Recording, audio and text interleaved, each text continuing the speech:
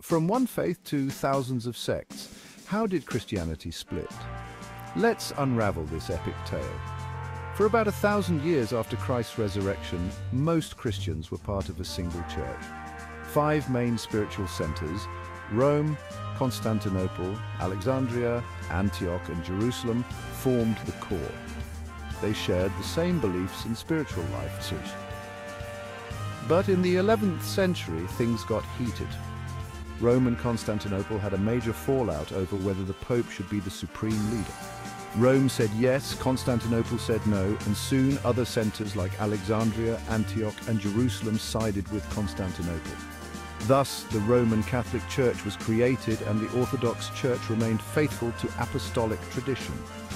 Fast forward to the 16th century. Enter Martin Luther, an Augustinian monk.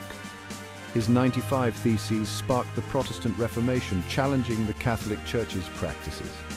This led to the creation of numerous Protestant denominations.